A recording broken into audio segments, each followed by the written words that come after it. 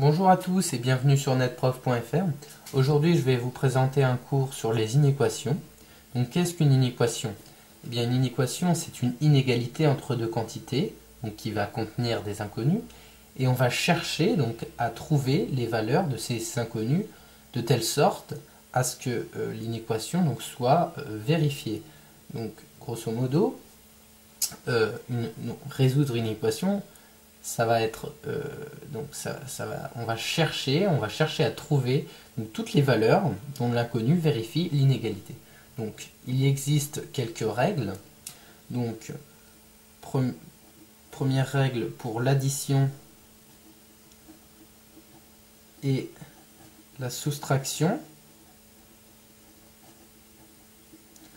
Eh bien lorsque euh, j'ajoute ou je soustrais le même nombre à chaque membre d'une inégalité, on obtient une inégalité de même sens. Donc c'est-à-dire que si j'ai x supérieur ou égal à 4, si je lui ajoute 3, eh bien x plus 3 sera supérieur ou égal à donc 4 plus 3.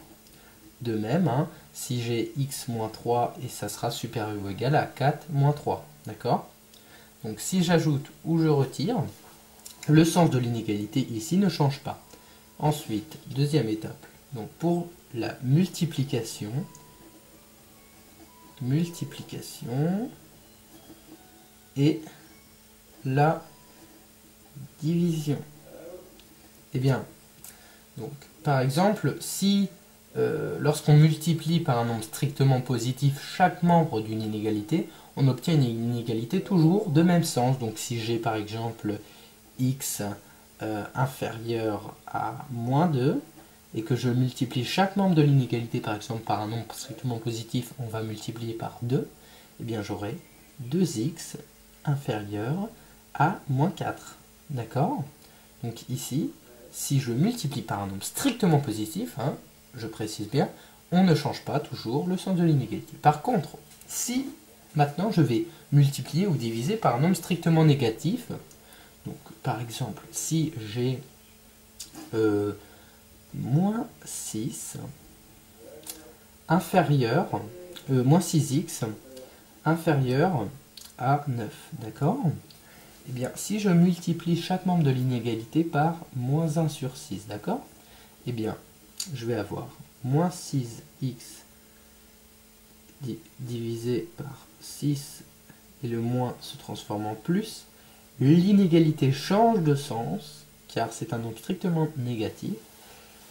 9 euh, fois moins 1 sur 6. Donc j'ai x supérieur à moins 9 sur 6. Vous êtes d'accord? Si je peux simplifier. Non, mais c'est pas le but de la compréhension. Donc x supérieur à moins 9 sur 6. Alors maintenant, je vais vous euh, montrer, donc je vais vous, par exemple, on va prendre un exemple euh, assez simple. Par exemple, si euh, j'écris mon inéquation moins 3y plus 1 inférieur ou égal à 16. Donc j'aimerais que ici vous me résolviez cette inéquation. Donc comment on va procéder?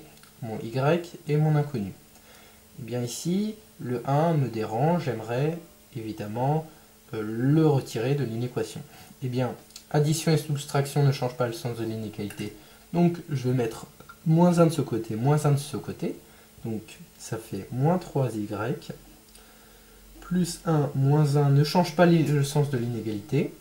Inférieur ou égal à 16 moins 1. Donc, les 1 s'en vont. 16 moins 1, 15 inférieur ou égal à moins 3y. Maintenant, le 3, il m'embête également, je veux le neutraliser, je vais multiplier d'après vous par quoi? Bah, Par, si je le divise par 3, ça va me faire du y, il y a le moins qui me dérange, par un nombre strictement euh, négatif, c'est fois moins 1 tiers, qui m'arrange, d'accord, ici?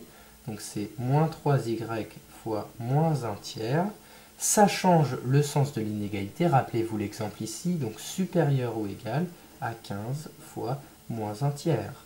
Ici, les 3 s'en vont, moins moins devient plus, y supérieur ou égal à 15 sur 3, euh, donc moins, donc ça, fait, ça nous fait donc du moins 5. Donc y est supérieur ou égal à 5. vous pouvez tracer un diagramme pour mieux comprendre. Ici, j'ai mon 0. Je vais dire que moins 5 se trouve ici. Eh bien, c'est pour les y supérieurs ou égal à moins 5, donc c'est toute cette partie-là assurée, donc à etc. plus l'infini. Donc, par exemple, si je vais prendre un moins 6 ici, eh bien, ça sera faux. Évidemment, vous avez euh, moins 6 supérieur ou égal à moins 5, eh bien, c'est totalement faux, ceci.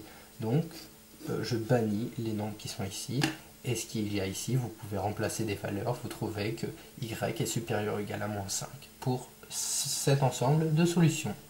Voilà, je vous remercie. Au revoir.